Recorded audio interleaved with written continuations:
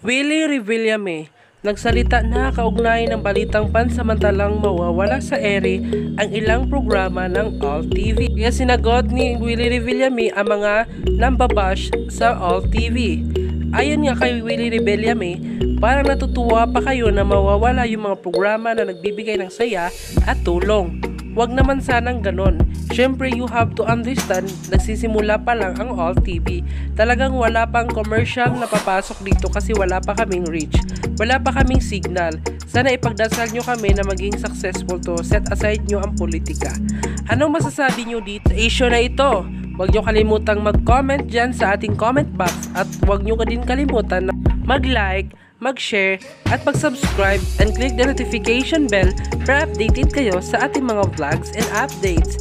Thank you! Bye-bye!